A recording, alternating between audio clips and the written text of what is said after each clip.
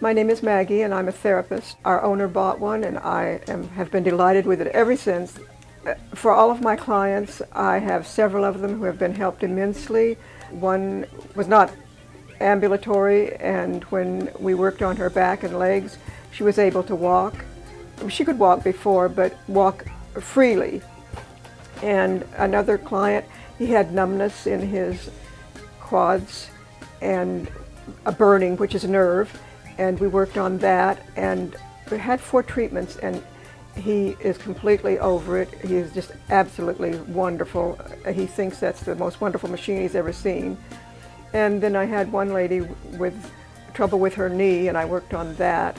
And I did that for about five treatments and she has had no trouble since. So as I say, I am so excited about the machine and we all are.